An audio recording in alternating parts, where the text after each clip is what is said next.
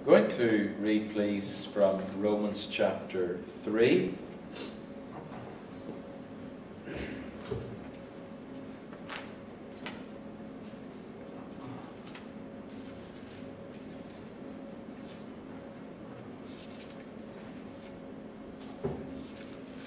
Romans chapter 3, and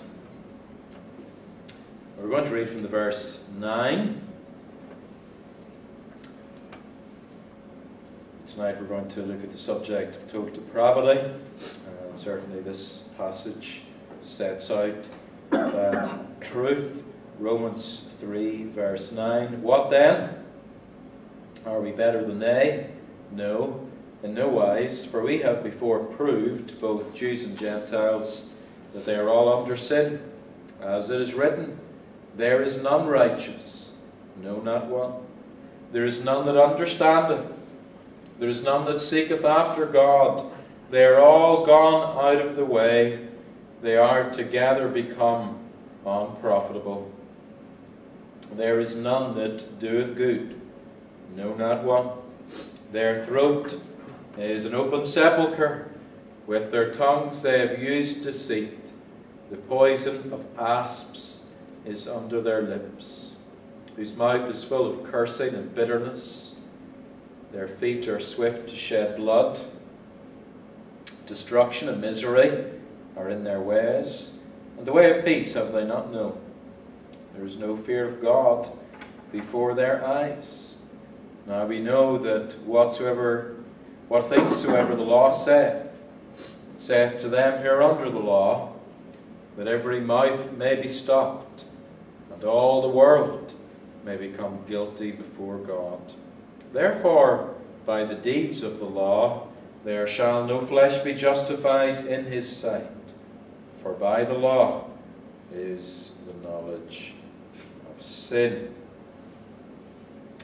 We have been looking at uh, some chapters from this book of uh, Joel Beeke's Living for God's Glory. And the first couple of messages have been an introduction to the doctrines of grace and Calvinism in general. And this evening uh, we're coming to the chapter dealing with total depravity. Joel Beeke begins this chapter with a quotation from Reverend Geoffrey Thomas, who was a long term minister in Alfred Place Baptist Church in Aberystwyth, in the promised land of Wales. And uh, Geoffrey Thomas said, Dr. Lloyd Jones, another Welshman, was hesitant about preaching on Sundays such doctrines as the five points of Calvinism. He was a Calvinistic Methodist and unashamed of that. But his approach was to permeate all his sermons with these truths and so to Calvinize people by showing them the greatness of our sovereign Lord and his free redemption. However, when Lloyd Jones took part in conferences and discussions, he used theological and Calvinistic terms, but rarely did so when he preached on Sundays. And so Geoffrey Thomas says, I appreciate that wise response and have tended to take the same approach myself. But also think times come when these truths, which are so preachable, need to be declared clearly.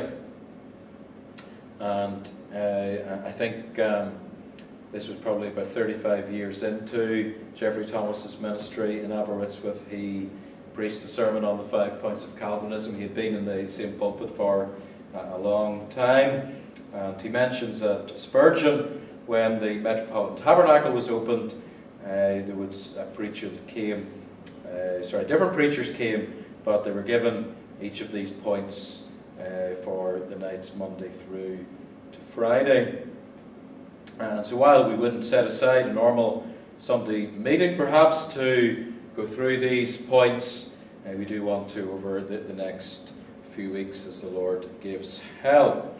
Uh, the Reformers did have a great emphasis upon grace. And since their emphasis was upon grace, they met resistance. They met resistance, first of all, of course, from Rome, and most especially the Counter Reformation. But then they met resistance from Arminius and his followers, referred to as the Remonstrants. And the Remonstrants had uh, five points, and the five points here on the screen, I don't want you to think that these are the five that I'm teaching. These were the five points of the Remonstrants, and so they taught conditional election. So they said election is conditioned upon something.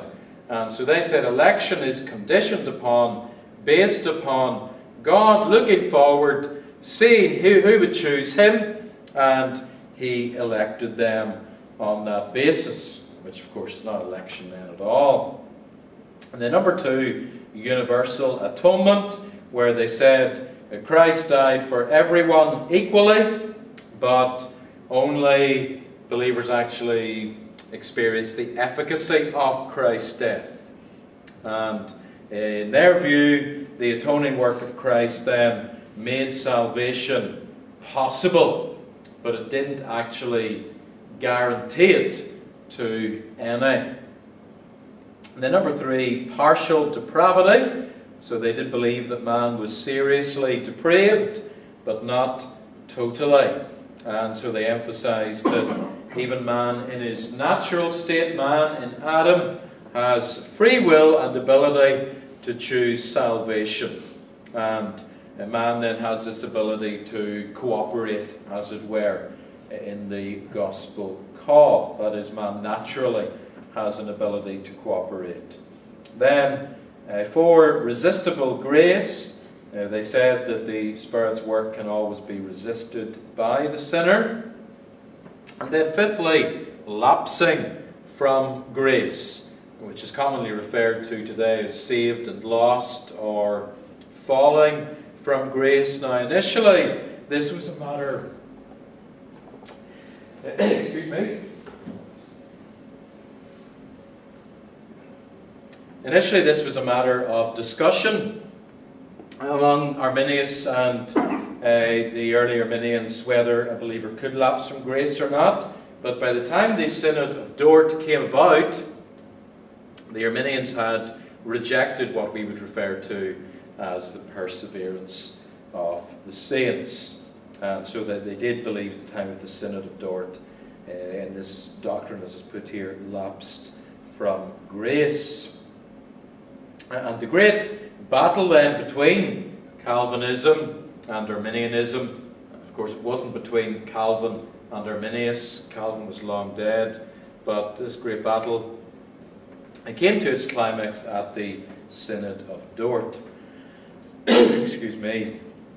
Uh, the Calvinists recognized that the Arminian teaching really threatened two particular vital gospel themes.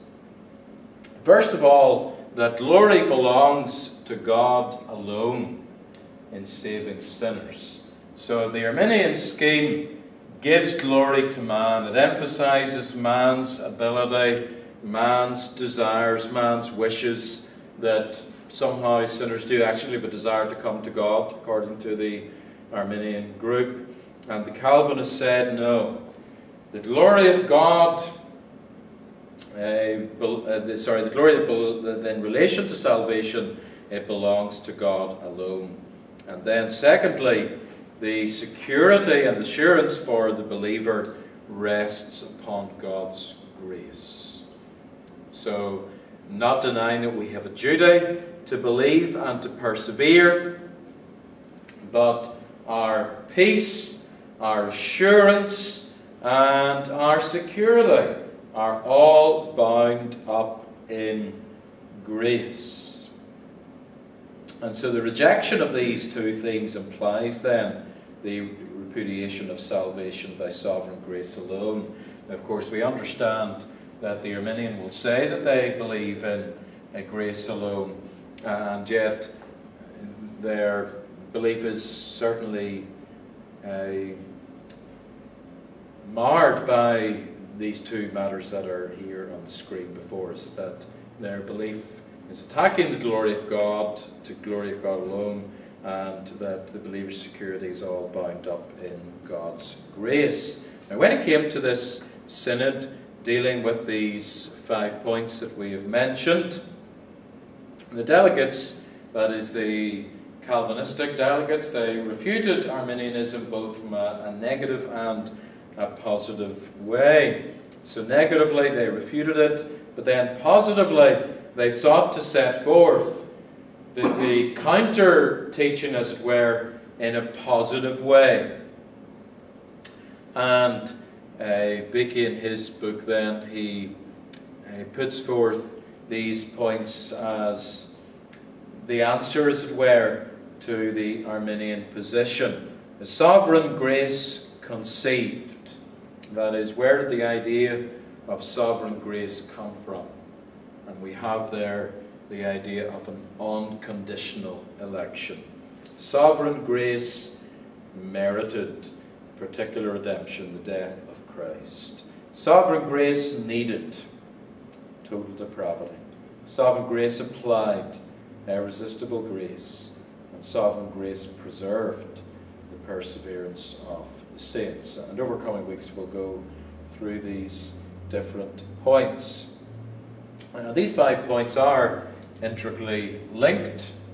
They stand or fall together. And of course, there are uh, some believers who will accept three or four of these points, and usually the one that they have a particular problem with is the issue of uh, particular redemption, and we'll uh, look at that subject when we come to it. Um, not just that it's logical, but that it is certainly uh, a biblical doctrine. And uh, I did mention this before, but it's important to remember that these five points do not summarize all of Calvinism.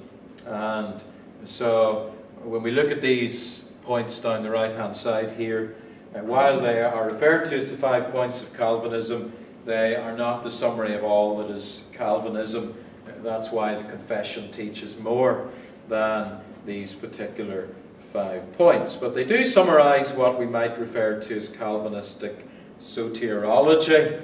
Soteriology meaning the study of salvation. And so, in relation to the matter of salvation, they certainly are a good summary. After this synod, the particular points here were reorganized as far as an order was concerned. And that resulted in the uh, acronym TULIP. And so point one then under that system is total depravity. So we're going to start with looking at uh, depravity then this evening. Uh, the Bible teaches us that although fallen man is capable of doing some externally good acts, he can never do anything truly good or pleasing in the sight of the Lord uh, unless he is regenerated by the Holy Spirit. And so, under this teaching of total depravity, we are emphasizing that the sinner is hell deserving. And in the chapter that Joel Beeke has on this, he has these five points that I've put here on the screen. And so, in the time that's left, we're going to go through these and I'll seek to explain what he means by these five titles. And so these five titles really give us something of a summary of what the Reformed position on total depravity actually is. So when we say we believe in total depravity, sometimes that view can be misrepresented. So hopefully in the course of the time that's left, uh, we can correct some of those misrepresentations. First of all, um, total depravity refers to a deviant iniquity. And so we cannot separate the idea of depravity from iniquity, sin. And so total depravity refers to sinfulness and sin. 1 John 3 verse 4, sin is the transgression of the law. Uh, and therefore, the sin does have to do with our failure to meet the demands of God's moral law. It does include then sins of omission. But it also includes sins of commission that we have broken the uh, sorry, we, we've done things that the, the moral law has told us not to do. Sins of omission and sins of commission. In essence, sin is all that is in opposition to God. So how can we define sin? We'll come to some definitions of sin in a moment or two. But we could say that sin is anything that is opposition to God. It defies God. It defies His person, His character, His law, His covenant. Martin Luther said that sin fails to let God be God. Sin then seeks to dethrone God and put someone or something else upon that throne. And in the scriptures, both the Hebrew Old Testament, the Greek New Testament, there are different words used to uh, give us an idea as to what sin actually is. And one of those key words is a word meaning miss the mark. And Romans 3.23, of course, is a great explanation of that. All have sinned and come short of the glory of God. And so God has set a standard for man perfection. If man is to make his way to God, what is God demanding? Perfection.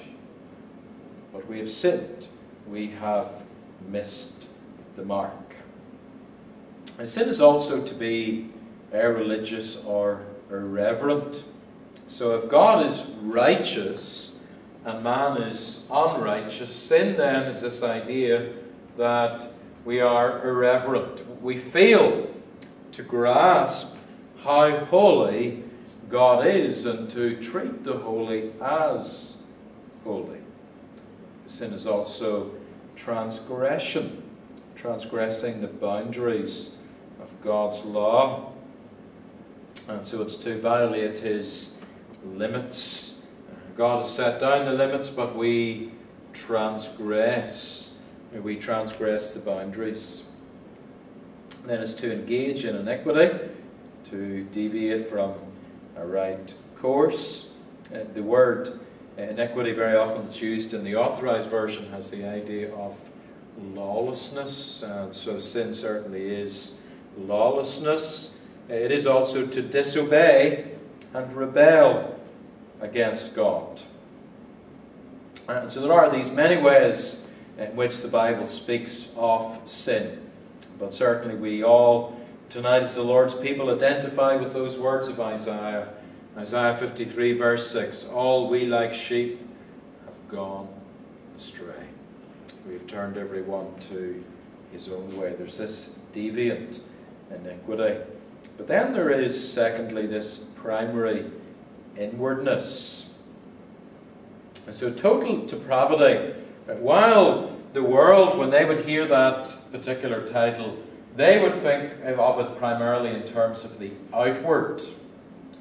We, as the Lord's people, are to think of it primarily in terms of the inward, with an outward manifestation.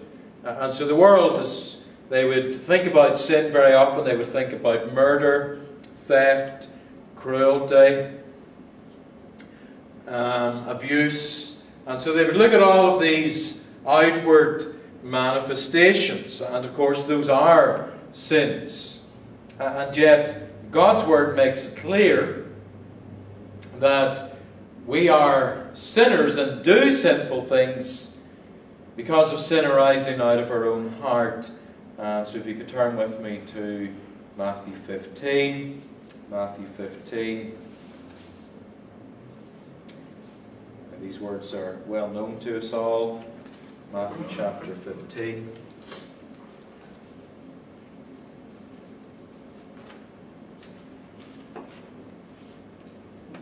Matthew 15, verse 17. Do not ye yet understand that whatsoever entereth in at the mouth goeth into the belly, and is cast out in the drought, in the sewer.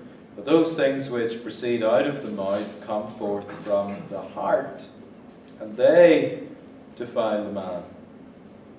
For out of the heart proceed evil thoughts, murders, adulteries, fornications, thefts, false witness, blasphemies. These are the things which defile a man.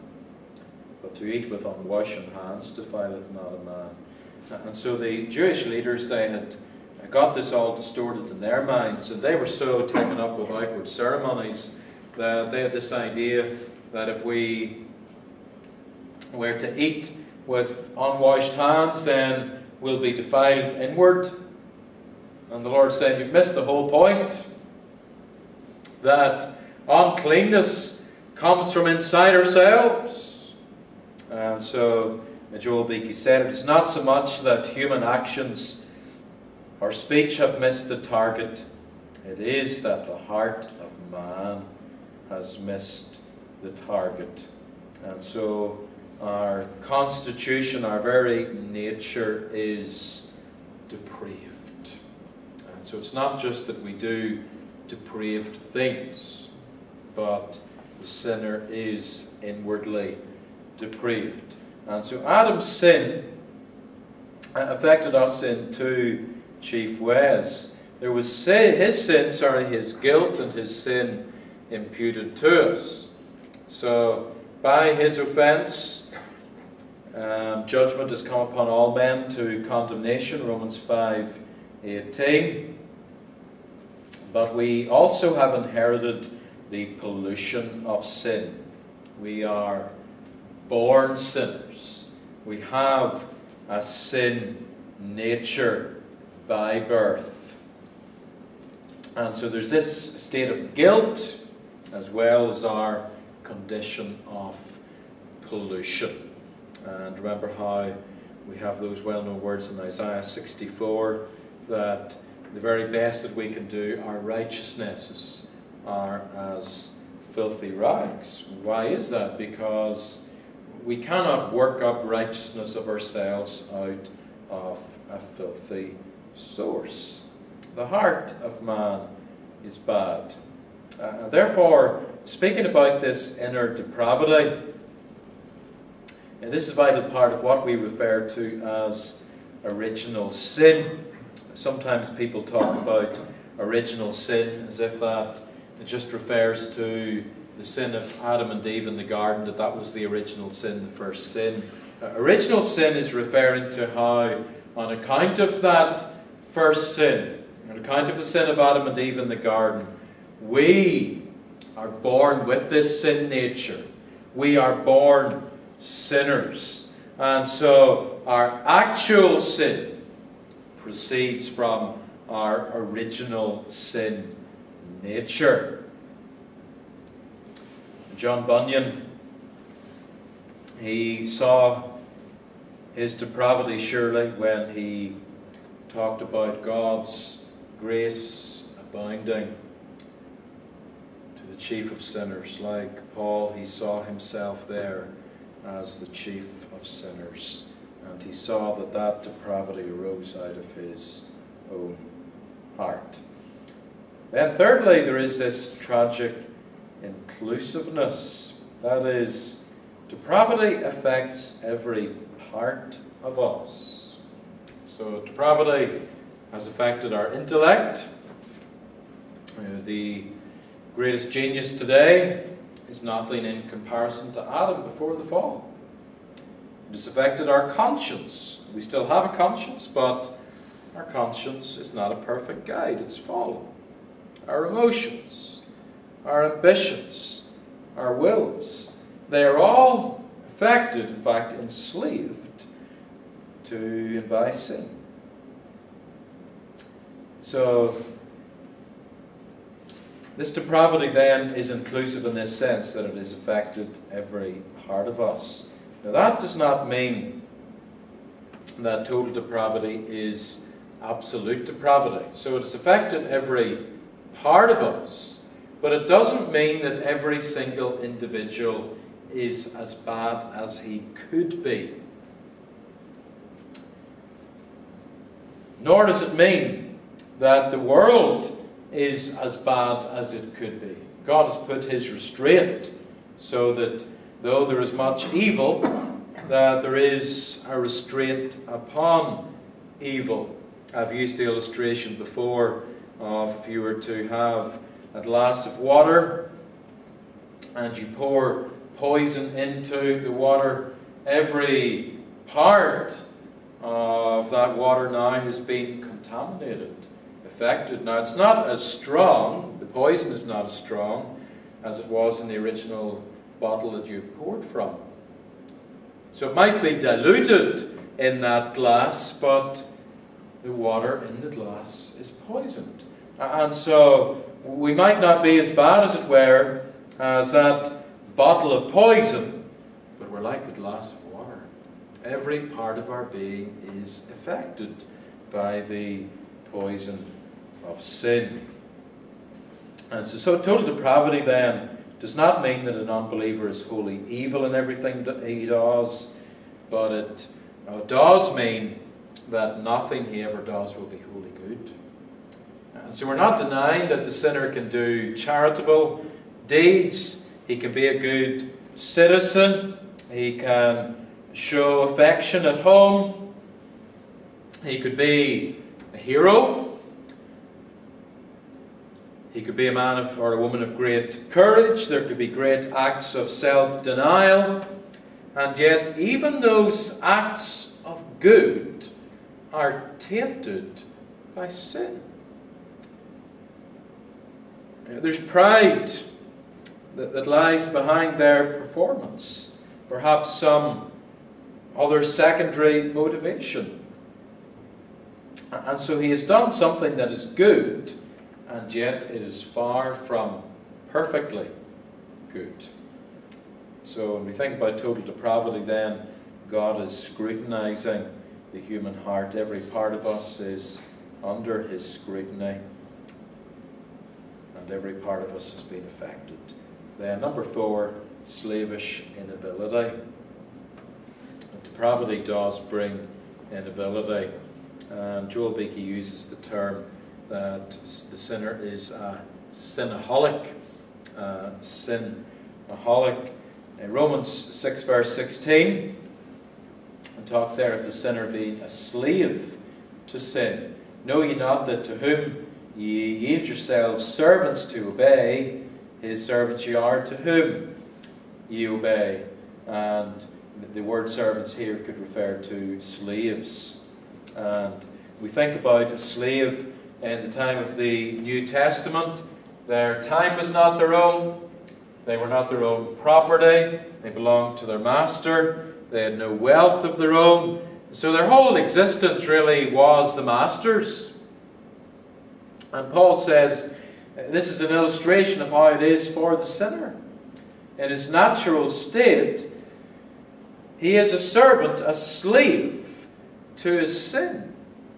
Isn't this what the devil blinds the sinner to today? That the sinner thinks he is free. The sinner thinks that he is determining his own destiny, and yet the truth is that sin is in charge. And therefore, there is this inability. The sinner is so blinded that he has no ability to come and of course, there are many words in Scripture that illustrate this to be the case. One of them is the word dead. Ephesians chapter 2 the sinner is dead in trespasses and sins. And we can go and shout at the dead in the graveyard, but there'll be no response. So it is. We speak to the sinner who is dead in the sin, and we must. But unless the Lord takes that word, unless the Lord opens the heart, there will never be a change. There never can be a change because the sinner is unable. The sinner has no ability to get himself out of that grip of sin. And then, number five, deadly issue. Deadly issue. And here, uh, Joel is referring to the wages of sin is death. Romans 6.23. That the consequence of sin, the consequence of this depravity, is death. Spiritual death, that the human soul is separated from a holy God. Physical death, the consequence of sin, and then eternal death, where there'll be the rending of soul and body from God forever. Hell, then, is what total depravity ultimately brings. Scripture, and therefore Calvinism, teaches the sinfulness of sin, the awfulness of depravity. And Uh, as we see this first point then of Calvinism, it's emphasized to us the awful need that the sinner is in. We see his inability.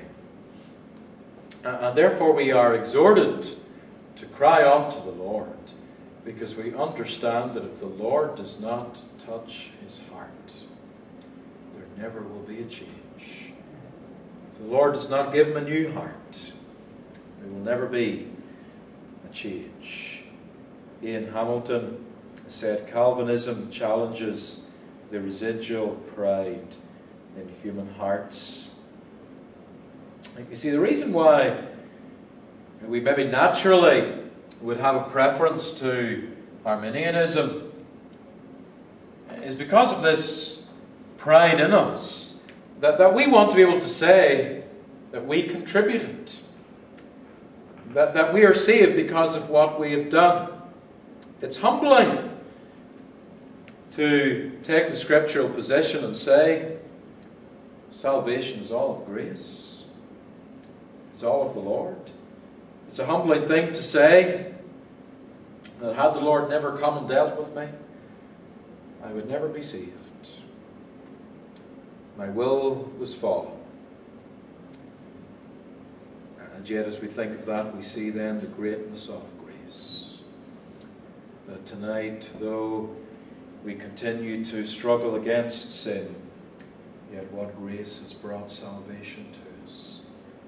And we know that despite even our own sinful beings, that we will be brought the whole way home to glory. And may the Lord uh, bless our hearts as we meditate even on those truths.